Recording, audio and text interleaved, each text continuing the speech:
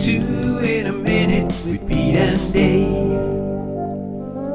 Welcome to How to in a Minute with me, Pete Davenport. And me, Dave. And today we're going to tell you in a minute how to be a better artist. We are indeed. Now, the German artist, Joseph Beuys, he wanted to become a better artist and he thought that if he had a live hyena in his room, the fear of that would Ooh. make him a better artist. Ooh. Now, Pete, you yeah. want to become a better I artist. I do, because? I don't think I'm that good. This is my drawing or painting of a dog. Now, I think that's pretty good, pretty but good. could be better. Could be better. And I think our viewers would agree it could well, be a oh, little well, How are we going to do that? Well, we don't have a live hyena, unfortunately, this time. But what we do have is a live hyena cub. Oh, and oh there it goodness, is. My goodness, it's very scary. frightening. Now let's see what Pete's oh, drawing's okay. going to be like. His his work of art's going to be like. Now a lot of artists like to like to work in pastels or oils or charcoals or watercolours, but you like to oh, work I in, do. in felt, felt tip, felt tip. And I'm feeling you? the fear from okay, the hyena cub. Right. There he and is. I think it's bringing out the best in me. It look, it's looking good. Do you want to looking... see what I've done?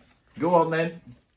There it is. Oh my goodness. Move oh. it forward and show them. Yeah. Look, the time's up. That's in one minute. In one minute, is a better artist. I'm well better done, artist. All because of the hyena That's right. A vicious hyena cup. Yeah. And they're available, aren't they? They are available.